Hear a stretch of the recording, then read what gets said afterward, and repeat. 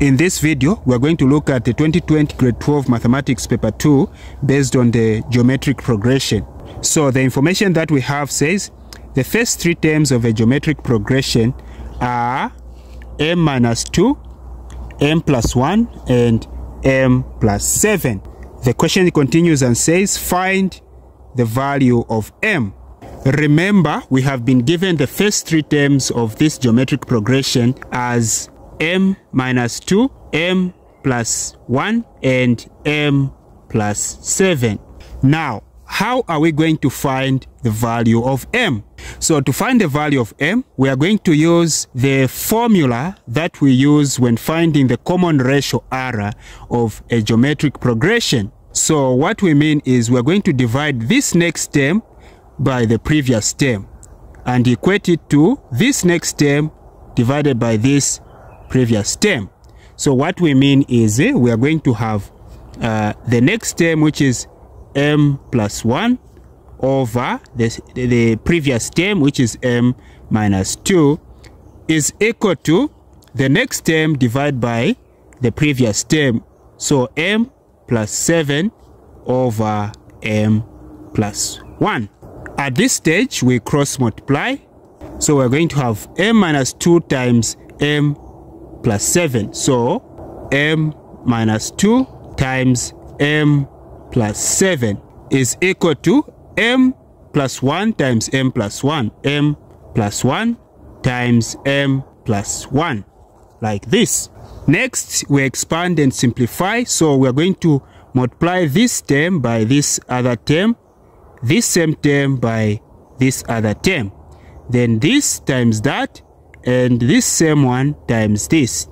The same here, this term times this, this same term times this other term, then this times that, the same one times that.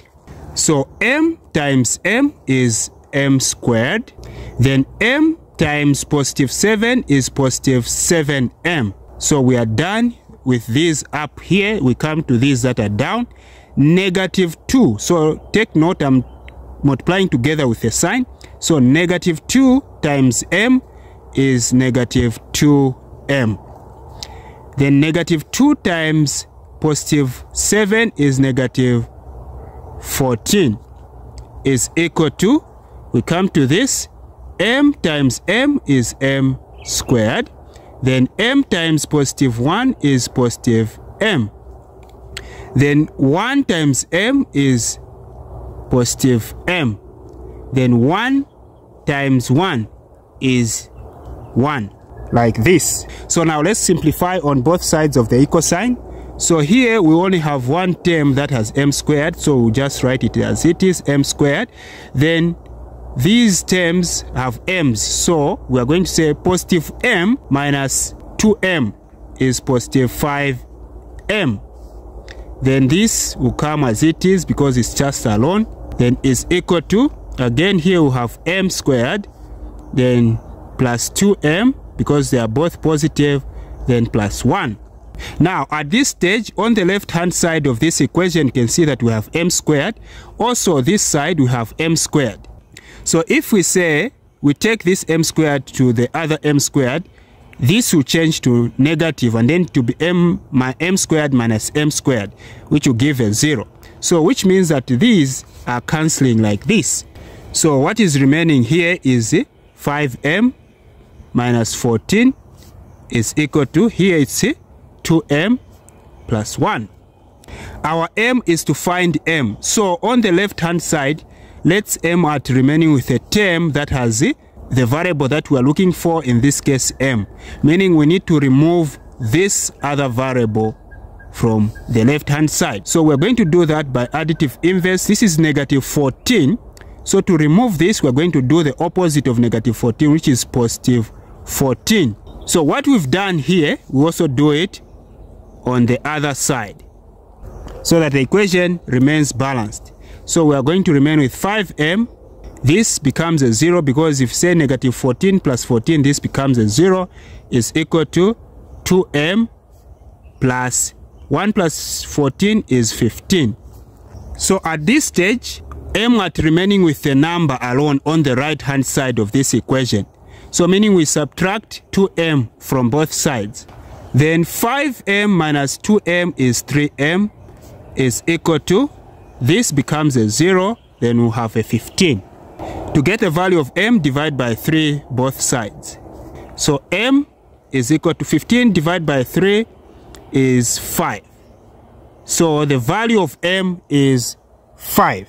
If you are with me up to this point, it means you are enjoying what I'm doing. Why can't you subscribe, hit a like button, comment, and share? Alright, part B says find the common ratio. Alright, how are you going to find the common ratio? Remember, the terms of the geometric progression are m minus 2, m plus 1, and m plus 7.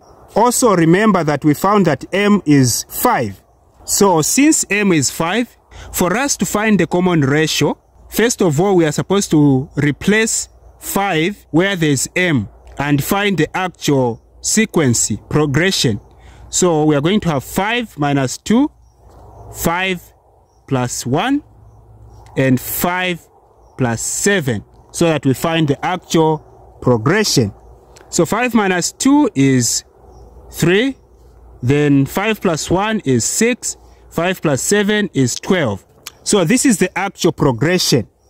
So now for us to find the common ratio, we're going to say R is the common ratio R is equal to the next term divided by the previous term. So we are having 6 over 3, which gives 2. So the common ratio R is 2. All right. The next question says, find the sum of the first six terms. Since they want us to find the sum of the first six terms, meaning n is 6, n is 6, then r, we already found r as 2. Then the first term a is equal to, the first term we're going to get this one, 3. So the first term a is 3.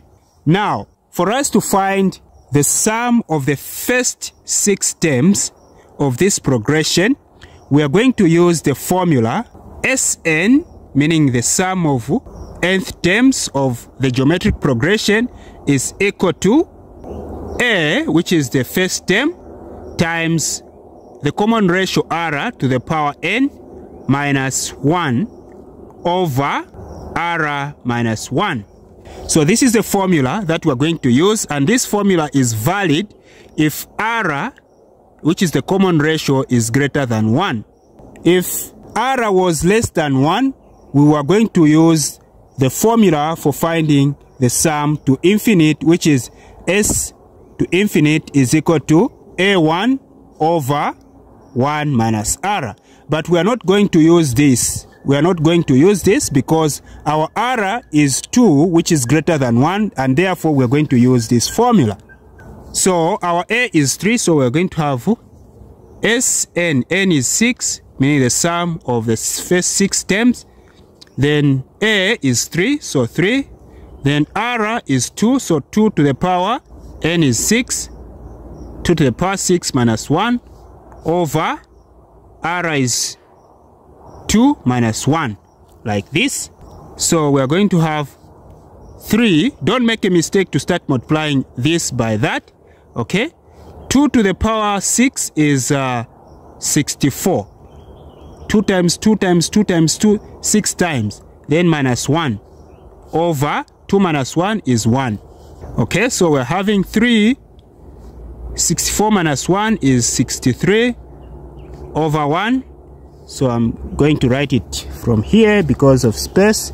3 times 63 is 189 over 1. Anything over 1 is uh, just itself. So the answer is 189. Okay? So you conclude and say, therefore, the sum of the first six terms of this progression is equal to 189. Thank you very much for watching. If you are new to this channel, please consider to subscribe, hit the like button, comment and share. And also if you are a returning viewer, thank you very much for your support. Goodbye.